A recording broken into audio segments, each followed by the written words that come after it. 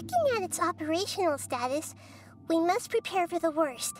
The god they wanted to create is likely close to completion or already completed. Oh no! What should we do? Paimon can't imagine how hard it would be to fight against a Fatui Harbinger with a Gnosis. Are you nervous, Paimon? If you really want to know, of course Paimon's nervous. Aren't you too, Nahida? Yes, I am. This is probably the first time I faced with a calamity of this degree since my birth.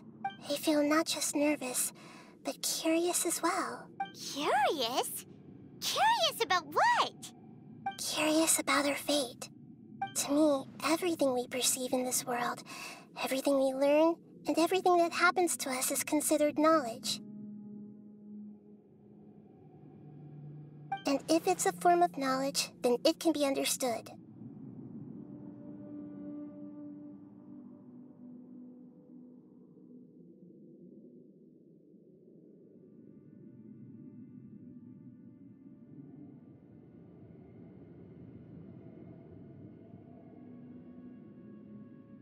However, only fate is about that which has yet to occur, so it has always drawn my curiosity.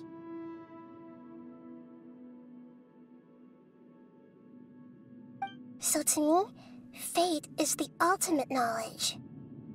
That's also why I love observing humans and all the things that happen to them. It all brings me great satisfaction. And now, at long last, I'm not just an observer anymore. I will personally experience my own fate with you by my side. Isn't this such a wonderfully exciting thing? Ah, so that's what you mean. Paimon thinks she understands what you're feeling. Agreed. Okay, let's continue on. I can sense his aura from here.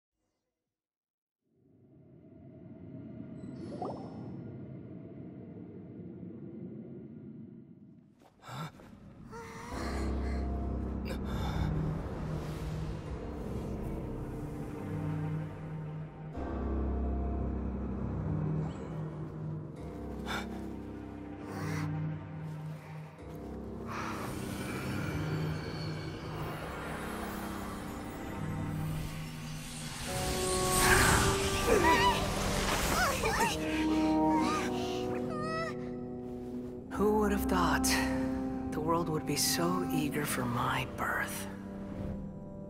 I remember you, Buer, the god of wisdom, and standing beside you, the traveler. Is he all-knowing and powerful now like Greater Lord Rukkhadevata?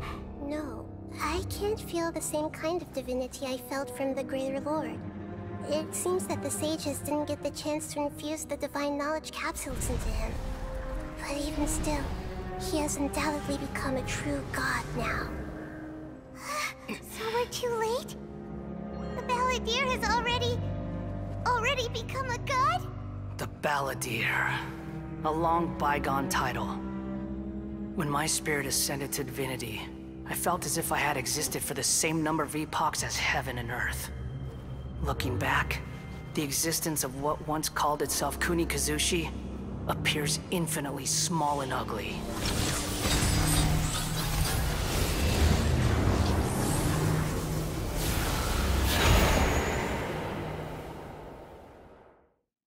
This imposing aura... It really feels like a god's! A body that capitalizes on the Balladeer's original construction as a mechanical puppet, with the Gnosis serving as a constant power supply. How much effort and resources did the sages put into this? From a purely technological perspective, it's a commendable achievement indeed. It's no exaggeration to say, this is the culmination of human wisdom. You sure are something! Dishing out compliments at a time like this? But I don't think he's reached the spiritual height of a god. Strife is engraved upon every god and every gnosis brought forth into this world. Can you feel it? The exhilaration of such power, and the thrill of anticipation for our contention. Nahida wouldn't feel the same things as you! Do you not realize that you are interrupting a conversation between gods? Lowly creature, know your place! The strife engraved upon a gnosis.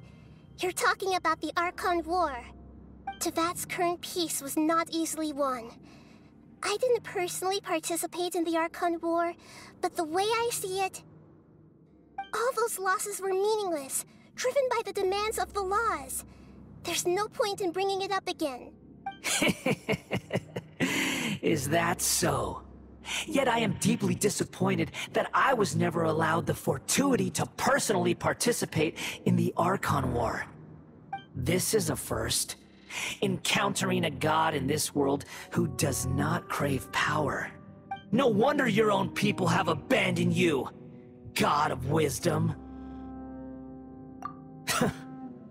your judgment is as your existence, unsubstantial. This is where everything ends, Buer the god of wisdom. You should know that wisdom cannot solve every problem. Like now, where your only option is to face me in combat. Come!